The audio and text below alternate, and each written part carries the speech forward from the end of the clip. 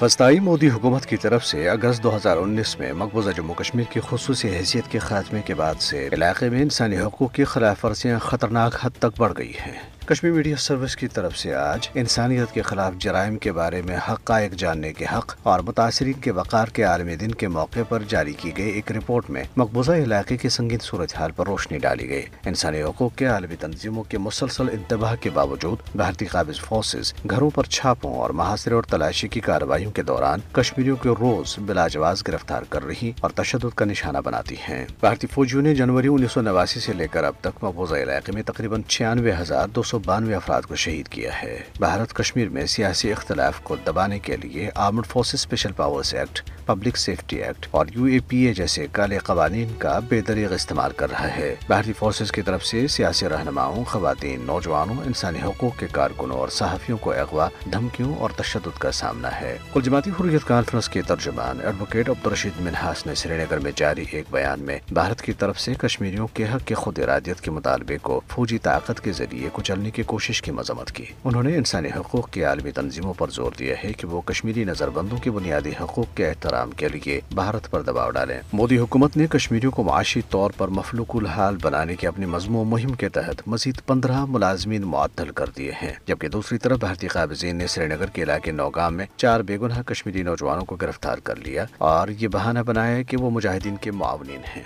जनीवा में मुनदा एक सेमिनार के मुकर्रीन ने आलमी बरदरी पर ज़ोर दिया है की वो तनाज़ कश्मीर के हल और इलाके में इंसानी हकूक की पामालियों के खात्मे के लिए अपना किरदार अदा करे भारतीय रियासत तमिलनाडु के वज़ीर अला एम के स्टालिन ने कोराड़ा चेरी में एक जलसे आम से खिताब करते हुए खबरदार किया है कि अगर भारत में भारतीय जनता पार्टी दोबारा इकतदार में आ गई तो मुल्क की तमाम रियासतों का हशर मकबूजा जम्मू कश्मीर जैसा होगा उन्होंने जम्मू कश्मीर की खसूसी हैसियत को एक तरफा तौर पर मनसूख करने और इलाके को कश्मीरियों की मर्ज़ी के खिलाफ मरकज के जेर इंतज़ाम इलाकों में तकसीम करने का हवाला देते हुए बीजेपी के दौरी हुकूमत में विफाकियत जमहूरियत और पार्लिमानी रवायात के जवाल पर तशवीश का इजहार किया है।